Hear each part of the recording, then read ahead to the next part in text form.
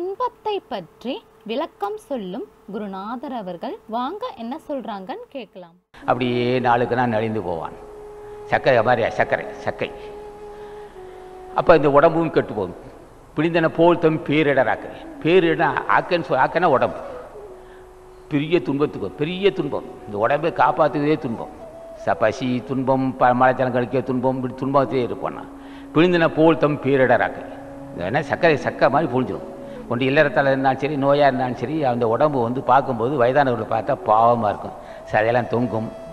திடமான உடம்பு நெளிந்து சக்கை ச- ச- இது கரும்பு சக்கை போல் பிழிஞ்சது போல் பிழிஞ்சது போல் பிழிந்தன போல் தம் பேரிடறாங்க இந்த தொண்டு இந்த உடம்பே துன்பத்துக்குரியது தானே? யாருக்கு? விஷயம் தெரிந்தவர்களுக்கு இந்த உடம்பு ஒரு தே- ஒரு பெரிய வரப்பிரசாதம். ஆனால் விஷயம் தெரியாத மக்களுக்கு இது துன்பத்துக்குரிய வாழ்க்கை. ஆக இந்த இந்த உடம்பை அவனுக்கு புரி இந்த உடம்பு இருக்கும்போதே நற்காரியம் செய்து கொள்ள வேண்டும் நினைப்பு அவனுக்கு இருக்காது. பிழிந்தன போல் தம் பீரடராக்கை அறிந்தன கண்டும் அறமறியாரின இது மாதிரி அவன் பார்க்கிறான். தான் உடம்பு நலிந்து வருதுன்னு பார்க்கிறான். மற்றவர்கள் ஏதோ எழுபது வயசு எண்பது வயசு தொண்ணூறு வயசு செய்யும்போது விகாரமான தோற்றம். பற்கள்லாம் இருக்காது. பார்த்தா விகாரமாக இருக்கு.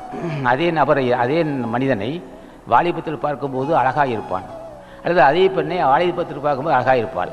பிறகு பார்க்கும்போது பார்க்க சகிக்காத அளவுக்கு ஒரு தோற்றம். தோற்றம் விகாரமாயிருக்கு. அது சில பேர் கூணு விழுந்துடும் கூணு விழுந்து போய் பார்த்த பாவடையில் அந்த பாடையில் இது வைக்கும்போது பார்த்தா எல்லாம் வளைஞ்சு கிடக்கும். ஆக இப்படி இருந்தும் நீங்கள் பார்க்கிறீர்கள் உங்கள் உடம்பு நலிந்துட்டு வருது. வந்தும் உங்களுக்கு தர்ம செய்ய சிந்தனை இல்லைன்னார் என்ன? காரணம்? அவர் செய்தவர்கள் திருமலனோ வள்ளுவனோ புண்ணியம் செய்யாமல் இந்த இடத்துக்கு வர முடியாது. புண்ணியம் செய்ய செய்யதான் தன்னை பற்றி அறிய முடியும். பூஜையும் புண்ணியம் செய்தால் தன்னையும் அறிவான் தலைவனை அறிவான். இரண்டும் சேரும்போது புண்ணியமும் பூஜையும் அருளும் சேரும்போது அதோடைய விளைவு எப்படி இருக்குன்னா இரண்டும் ரெண்டு சே அப்படி சேர்ந்தா அவ்வளோ ரெண்டாயிரம் ரெட்டை மாட்டு வண்டி போல் வந்துக்கிட்டே இருக்குண்ணா புண்ணியமும் அருளும் சேருது. சேர சேர புண்ணியமும் அருள் புறம் சேர சேர வினை முன் செய்த வினைகள் குறையும். அந்த அந்த வினைகள் நம்மை பாதிக்காது. நோய் வரலாம் பகை இருக்கலாம் வறுமை இருக்கலாம் வேறு ஏதோ பிரச்சனை வரும் ஆனால் பாதிக்காது. புண்ணியமும் அருள்பலம் வந்தால் முன் செய்த வினைகள் நம்மை விட்டு அனுபவிக்கலாம் ஆனால் இடையூறு வர இடையூறு வராது. புண்ணியம் அருள்பலம் இருந்தால் என்னாகும்? பிறப்பை பற்றி அறிவான். இந்த தேகம் என்ன? இந்த தேகத்தால் என்ன கேடு இருக்குது என்பது பற்றி அறிவான். ஆக புண்ணிய பலம் இருக்கிறதுனால தான் அந்த உடம்பை பற்றி அறிய முடியும். உடம்பை பற்றி அறிகிறவன் நிச்சயம் உயிரை பற்றி அறிவான்.